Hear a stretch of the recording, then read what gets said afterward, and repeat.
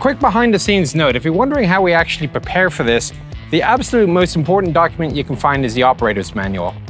Uh, these days, the TM technical manual, sometimes also known as a dash 10, because a dash 10 means operator's level as opposed to dash 20, which would be the next level of maintenance. With it, you got all the instructions on how we do everything. So you may not even need to watch the video if you got one of these.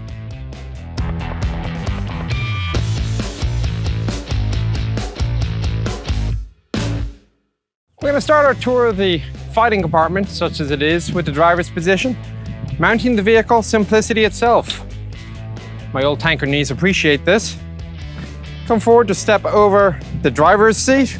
You can see that the steering wheel has been cut away underneath, so I have a good bit of room for my knees.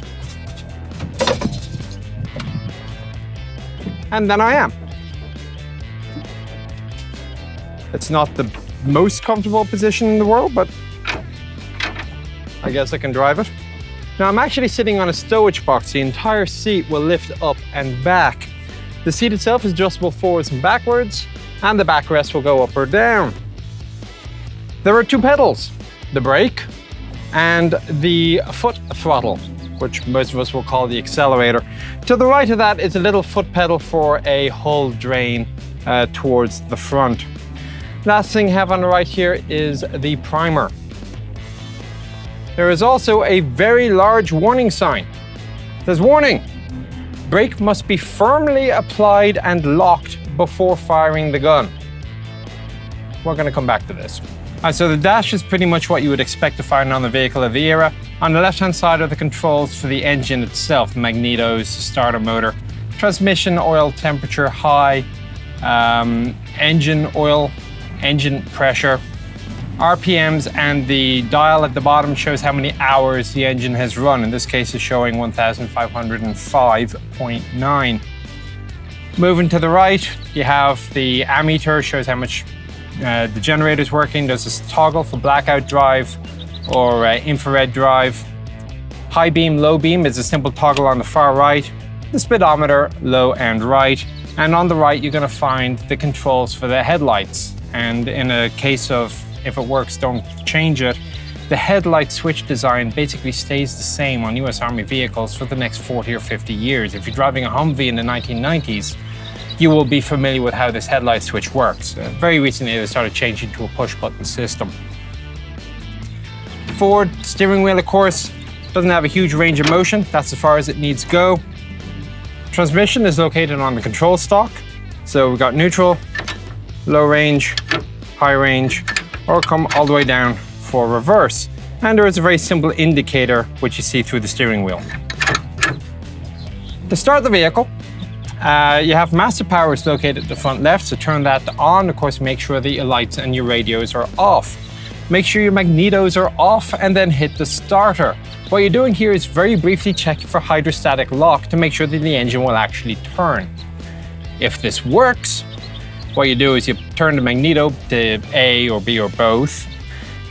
You prime it a couple of times if necessary. And then you hit start and boost.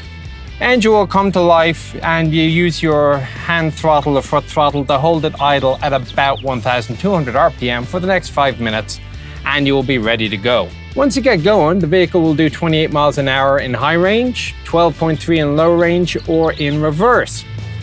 The vehicle won't neutral steer. It will, however, pivot steer. Lock one track, the other will describe a 9 foot radius circle. You are doing all this through a clear windshield in the gun shield. The gun shield itself is the only thing that could be even remotely considered armor on this vehicle. It's about four or five millimeters thick. So it will at least stop the bugs going into your face at 28 miles an hour.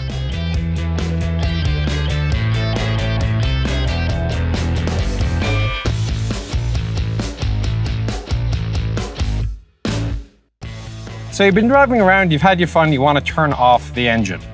Well, first you want to do, of course, once you're in neutral and parked, is you want to hit the fuel cutoff, which is this button here. Just push down, eventually it'll cut the flow of fuel to the engine, engine will die. Turn off your magnetos, turn off your master power, and you are done. By the way, the little button up here to the top right of the master power, that's the horn. You gotta have your horn. So the gunner gets what is probably the most worrying position in the house. Now, initially, you don't think it's so bad. I actually have a fair bit of room. The seat is on springs, it's nice and comfy. The problem is to his left. Now, when the M56 or the T101 was originally being developed, the idea was you were going to put the T119 90mm gun onto it. This became the M36 as found on the M47 medium tank. However, it was soon determined that you couldn't actually get one of those things onto a T101, so they started development of an entirely new 90mm cannon, the T125, and it was specifically for use on this vehicle. The T125 became the M54 mounted on mount M88 on this vehicle. The M54 could fire the entire range of 90mm ammunition. So it was backwards compatible with the earlier M1, M2, M3 and M26 T8 90mm guns and also the M36 of the later type. Now M36 and M54 ammunition could not be fired through the earlier 90mm guns. Their typical ammunition would be the M318 armor-piercing round. And this was a 44-pound round which would punch through about 190 millimeters of armor at a kilometer. Now the price for this was the gunner's face. The problem was this is such a light vehicle, as the gunner has his head to the sight and he pushes the electrical trigger on the traverse handle the entire vehicle is going to rock back, and a video of it is very impressive. Indeed, it is probably safer for him to pull his head away from the sight and then pull the trigger while holding on for dear life.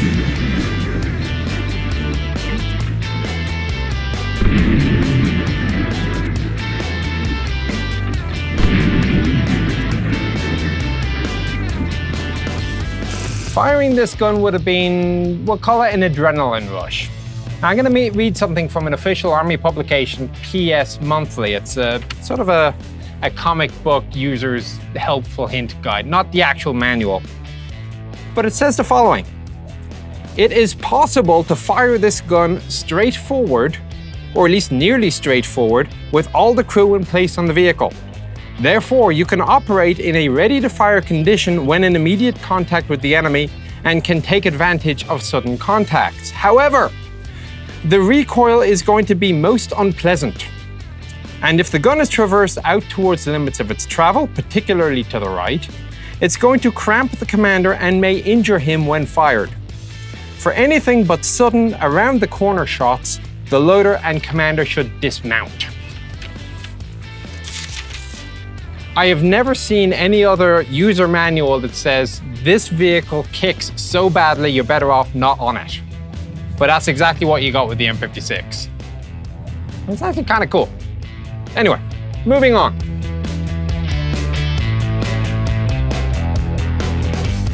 So to get going with the gun, you're going to want to first clear the gun for action. What you want to do is remove the canvas shrouds, which are covering the ammunition, the breech, the optics, and the counterweight.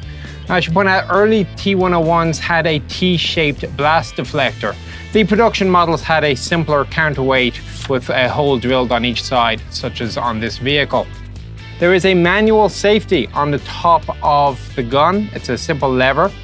Uh, with that done, uh, the next thing you want to do is you want to prime the recoil cylinders. And this is a hand pump. You pump this backwards and forwards. There's an indicator on the back which will protrude a certain amount depending on how much pressure you have in it. When you are now loaded and ready to fire, you remove the mechanical safety. There is an electrical safety switch here. The gunner then aims by use of the elevation handwheel and traverse handwheel. He's got 30 degrees of traverse per side, 15 degrees of elevation, and a good solid 10 degrees of depression, which will probably do interesting things to your recoil effect. When you hit fire, yeah, hold on for dear life. Recoil will occur, breech will open up, loader will set about his duties. To aim, the gunner will be equipped with a T126 telescope direct vision. It's selectable power by 4 or by 8. It's graduated with either HVAP T137 to 3,200 meters or 4,800 meters for everything else. It is mounted on an adjustable mount here, so there is for bore sighting, You release the locking lever, you alter the mount position, place the locking back in. There is also on the sight itself a spirit level that you can adjust for cant. And uh, that'll help you more accurately hit your target if your vehicle is not on level ground. Lastly, to the gunner's front, two items to note. First is the air cleaner. It actually has a little selector for summer or winter setting. And the fuel filler port. The fuel tank is 55 US gallons which will get the vehicle about 140 miles. Now we move to the back.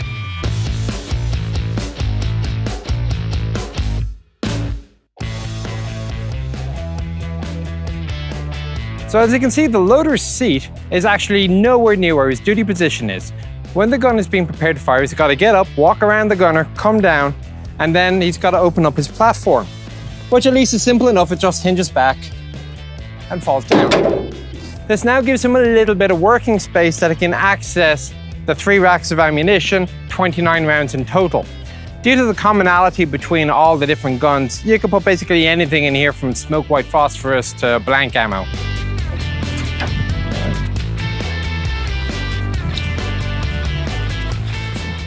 So demonstrating how this fits with a wooden round, you see that's about as far as it goes before you start hit a spring load it takes a lot of pressure to come in before you would close down the latch. I'm not going to do that right now. You can see how quickly the round will come out and hit you if you weren't, if you weren't ready for it. To demonstrate if the tube has a round in it or not, there is a little pressure sensor here. All it does is just passes through the front. The base of the round will push this up. If the little nipple here is sticking out, you know that there is actually a round in that tube. If the round is flush like it is right now, you know not to bother opening up the round.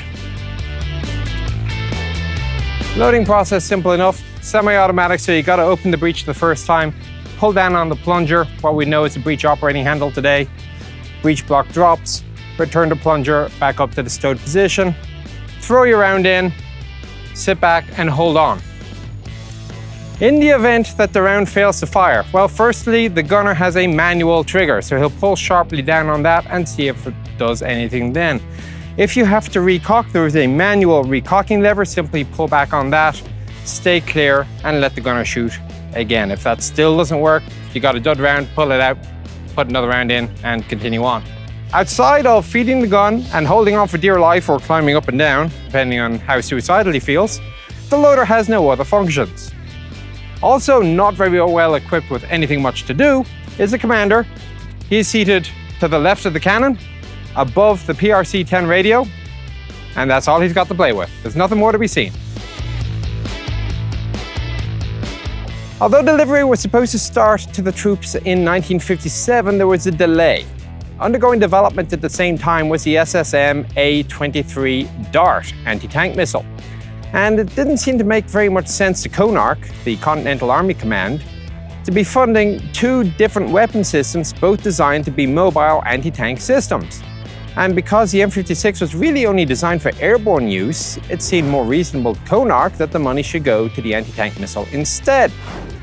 Well, the Chief of Ordnance and the Chief of R&D didn't like this, and in a situation somewhat reminiscent of World War II, they appealed for the vehicle to be put into production immediately anyway because DART wasn't due to come into service for at least another two years. And everybody accepted that the M56 did the specifications that was laid out for it. However, the best they got was a study to determine whether or not the two systems could work together or one should be better than the other. Well, it turned out that the study said that they were complementary systems, not competitive ones. So the money started flowing an order for 160 was placed with Cadillac at a drive-away unit cost of $107,000.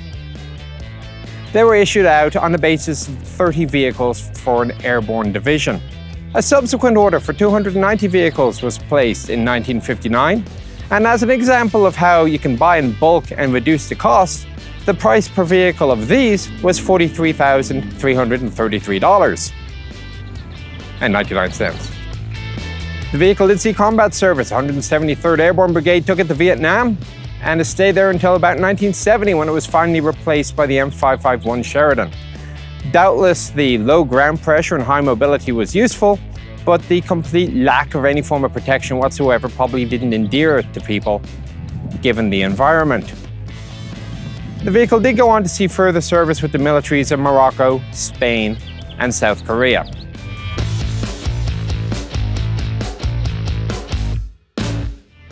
That's it for the M56 Scorpion. We'll see you on the next one. Capable of traversing soft and marshy mud, terrain, stuff, other things that it might happen to run across, badgers, or cargo airport, airport? I'm reading a bloody thing and I can't get it right. To be transported in a heavy assault glider or cargo aircraft. God, gonna pulls the trigger. If it works, fantastic.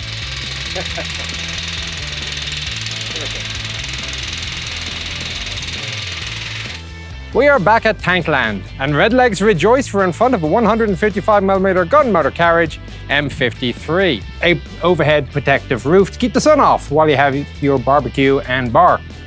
Well, the rear of the vehicle seems nice and spacious. I'm actually standing pretty much at full height. Until you realize that there's actually six people in this turret, so things start getting a little bit more cramped and probably annoying.